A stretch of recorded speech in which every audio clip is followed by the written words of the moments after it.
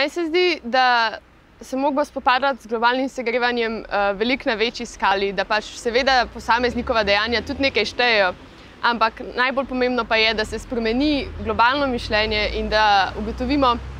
skupaj, kako bi lahko rešili probleme s korporacijami, ki predstavljajo večino znesnaževanja. In zdi se mi, da tudi danes, ko smo imeli to finalno debato Climate of Change, da v bistvu je tudi to del tega ozaveščanja o problemih in da se bo nekako premaknilo mišljenje do tega, da bomo dosegali globalne spremembe.